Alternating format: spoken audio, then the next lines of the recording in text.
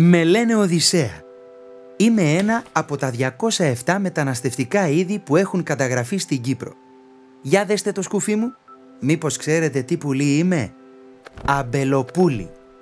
Με ονόμασαν Οδυσσέα γιατί κάθε χρόνο ταξιδεύω μαζί με άλλα πουλιά από πολύ μακριά και περνώ από αμέτρητες δυσκολίες για να φτάσω στον προορισμό μου.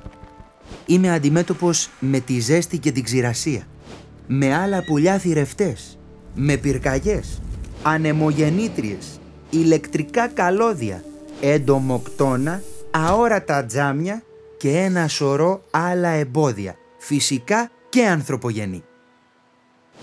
Έτσι, προτιμώ να ταξιδεύω το βράδυ, που οι κίνδυνοι είναι λιγότεροι και την ημέρα να ξεκουράζομαι και να τρέφομαι σε βιότοπους.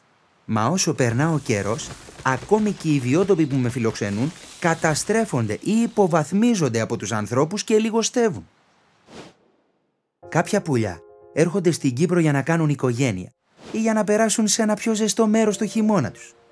Εγώ στην Κύπρο σταματώ μόνο για να ξεκουραστώ, γιατί το ταξίδι μου είναι εξαντλητικό. Επιβιώνουν μόνο οι δυνατότεροι. Όμως Παρόλο που τα καταφέρνω, γιατί είμαι δυνατός και πολυμήχανος, κινδυνεύω πολύ εδώ από ανθρώπους που βάζουν παράνομα δίχτυα και εξώβεργα. Άκουσα ότι είμαι ακριβώς μεζές και όσοι με σκοτώνουν μαζικά λένε πως δεν κάνουν κακό γιατί υπάρχουν πολλά αμπελοπούλια ακόμα.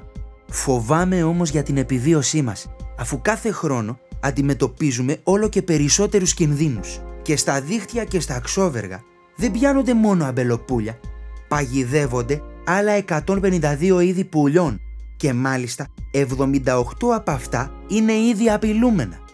Το ξέρατε ότι κάθε χρόνο στην Κύπρο παγιδεύονται παράνομα εκατοντάδες χιλιάδες πουλιά όπως αηδόνια, χελιδόνια, πουπούξι, μελισσοφάγι, σκαλιφούρτες, ακόμη και θουπιά, τα οποία είναι είδος κουκουβάγιας. Καταστρέφεται έτσι ανεπανόρθωτα η κοινή κληρονομιά του πλανήτη και σπάει η αλυσίδα της ζωής. Γι' αυτό εσείς οι άνθρωποι πρέπει να αγαπάτε και να φροντίζετε τη φύση.